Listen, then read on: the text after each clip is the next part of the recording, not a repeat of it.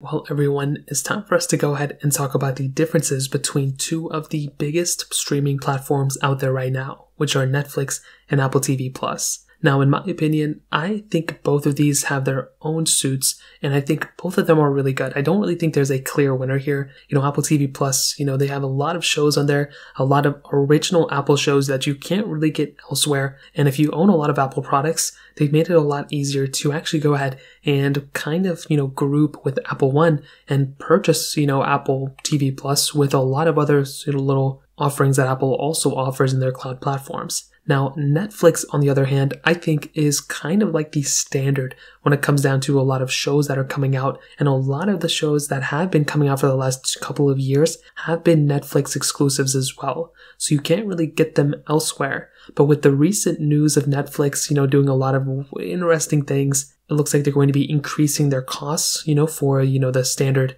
baseline, you know, entry point of you know purchasing Netflix, but also they may be offering a cheaper plan with ads inside of it. It looks like there's going to be some shaking things that are going to be happening soon. But like I said, both these are great. Both them have both of these have their own offerings, and I don't think there's a clear winner here. Starting off with the price tag though, the Apple TV Plus, you do actually do have a seven day free trial, which I think is pretty cool. Then it is shortly after it is $4.99 a month. So you can pretty much just kind of look at it and say it costs pretty much nine $4.99 a month for the most part right now. Now within Netflix, there are a few different offerings from them right now. So we do have the standard $9.99. This is the basic model of the monthly price. So this is ad free as of right now from their website. So that is $9.99. You get good video quality from them and the resolution is really only 480p, which is very interesting. Now the standard, you know, rate plan that they offer a little bit above that is $15.49 a month.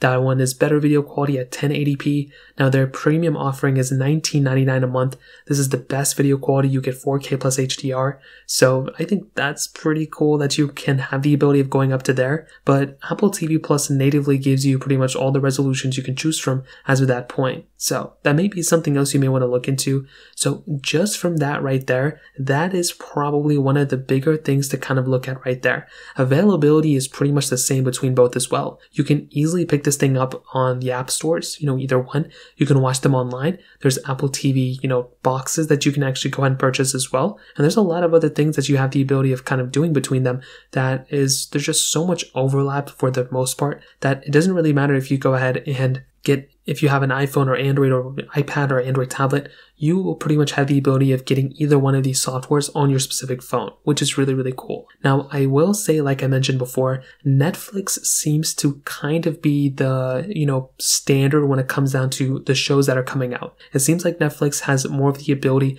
and more of a focus on streaming, whereas on Apple TV Plus, it seems like they're really trying to go ahead and focus around their Apple products and trying to get you to subscribe as much as possible to all their other products as well. That's kind of the gauge that I've been getting from them recently. With Apple One, I think that's great. And I think that's an awesome way to go ahead and not only get Apple TV Plus, but a lot of other things from Apple TV, from Apple, you know, cloud softwares at a very cheap price. You know, I think it's actually pretty competitive. So they make it a lot easier to go ahead and just get started with Apple TV Plus. It also comes pre-built with pretty much all their phones nowadays and softwares and products. So I think that's pretty cool. But on the flip side is the amount of content that's available on Apple TV Plus. In my experience, Netflix has a lot more of the shows that I would personally watch on that specific platform. On top of that, they have a lot more shows that I've been watching even before Netflix that are available on that platform as well. Now, a lot of things come in and out. They, you know, some shows are available on there, then they get taken down and they get removed, like The Office is one of them. But you can pretty much rest assured that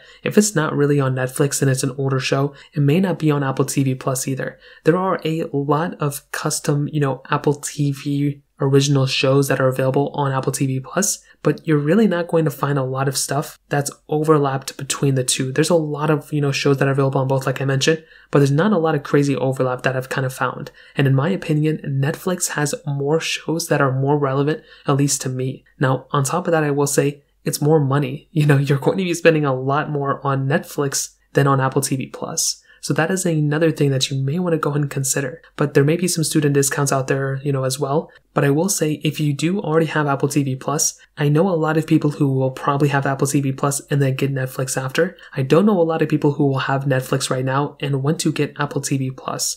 There are some reasons, maybe, you know, I feel like it works really well for a lot of different Apple products out there. Obviously, AirPlay works with Apple TV Plus too. SharePlay works with Apple TV Plus. So if you want to watch a movie together with people, you know, via FaceTime, well, you can watch that via Apple TV. And because it already comes pre-built within Apple's ecosystem, it works really well with all different products and AirPods and so many other things. So so I've always found that to be fairly interesting from Apple. Now with Netflix, like I mentioned, they just have so many different platforms and so many different, you know, shows that are not only coming out, you know, in the future, but also have came out in the last year or so that a lot of people really like. Things like Squid Game, Stranger Things, you know, so many different shows like that that are still getting so much hype behind them. Seems like Netflix has really gotten, you know, a hold on culture in a way, and they're really focusing in on how can we go ahead and make as many great shows as possible that many people will like. And, you know, they've been doing this for quite a bit of time. I will be curious to see what Apple's going to be doing to kind of compete with that. Because Apple TV, you know, their main thing is, you know, creating original content. And they've been kind of improving in that area. But I still haven't yet heard of a lot of people, you know, and a lot of shows from Apple TV. Whereas on Netflix, I've seen a lot of people talk about shows from this, you know, platform.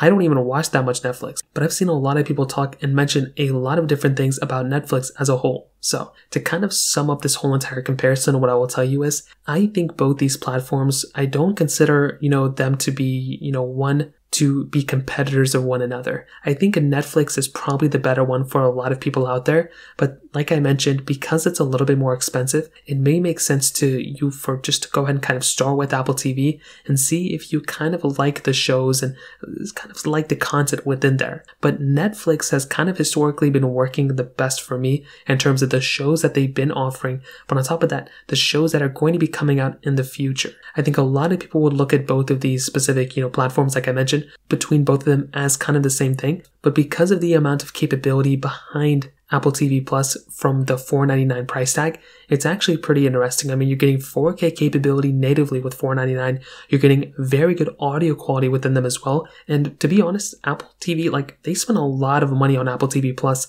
and I do think in the future it's going to be improving in terms of the you know quantity of you know content as well as the you know quality of the content as well. I would love for them to go ahead and just make as many shows as possible for us to go ahead and have a huge plethora of a catalog to choose from. But if they only make a couple shows here and there and a couple movies here and there, I don't really see too many people talking about, you know, Apple TV exclusives. With Netflix, on the other hand, seems like they have different shows that come out all of the time because they focus in on Netflix. They focus in on streaming. That's pretty much what their company does. So, like I said, I think Netflix is probably the one that I would recommend to most people to go and pick up. But like I mentioned, because it is a little bit more expensive, it's actually twice the price than Apple TV Plus for the base model that doesn't even include 4K capability or anything like that. It may make a little bit more sense to go and get Apple TV Plus, but if you have the money, I would probably go for Netflix when it comes down to it. So that kind of covers it up. If you have any other thoughts or questions, please let me know in the comment section below. Hit the like button, that would mean so much, but definitely hit that subscribe button.